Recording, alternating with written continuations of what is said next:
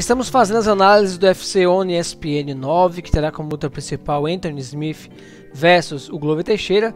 E vamos falar agora da luta entre Alexander Hernandez versus Drew Dober. João Galibarbi, dois atletas que vêm com as sequências boas de vitórias aí, poucas derrotas nas últimas cinco lutas, acho que uma derrota cada um nas últimas cinco lutas. O que, a gente pode estar esperando desse confronto aí? E a, se é a oportunidade do Drew Dober estar aí entrando no ranking do UFC? Cara, Drew Dober é um cara que melhorou de forma esplendorosa, assim, nos últimos anos. A trocação dele é afiadíssima. A última luta dele, ela tava apostando contra e tirou para absolutamente nada um garoto meu, o Nasrat Hakparash, nocauteando brutalmente no primeiro round.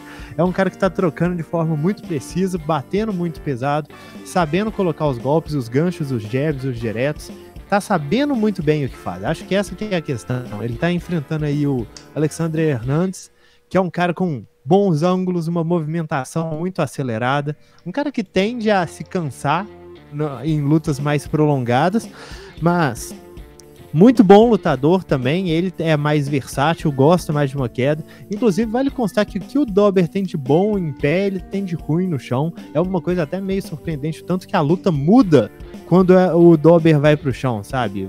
Incontáveis lutas que ele tava vencendo, ah, por exemplo, contra o Darius, contra o Olivier Alban Mercier, ele estava vencendo bem, a luta bateu no chão, ele não conseguia fazer absolutamente nada, teve a guarda passada, foi esmurrado e foi sufocado até a desistência. Eu acho o Hernandes mais versátil nesse sentido, é um cara que consegue quedar bem, consegue dominar no chão, inclusive fez chão com o mesmo Olivier Alban Mercier, que finalizou o Drill Dover. É, mas eu, eu, pelo mesmo, eu também não acho que ele consiga trocar golpes é, no mesmo nível do Drill Dover.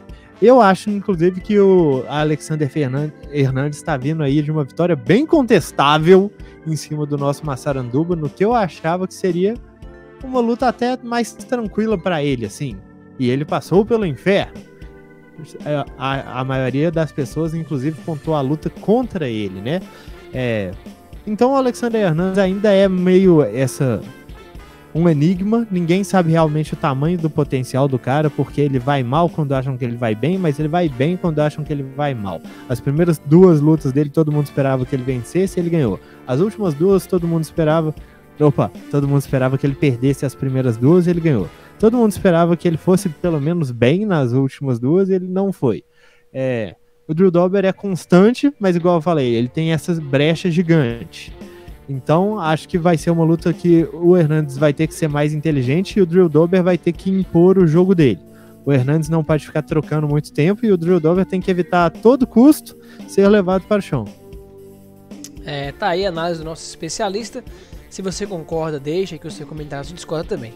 Lembrando que na quarta-feira, durante esse evento, estaremos ao vivo aqui no YouTube trazendo as lutas comentadas. Então se inscreve aqui no nosso canal e ativa o sininho para receber as notificações sempre que a gente tiver vídeo novo aqui no canal ou sempre que entrarmos ao vivo com as nossas transmissões.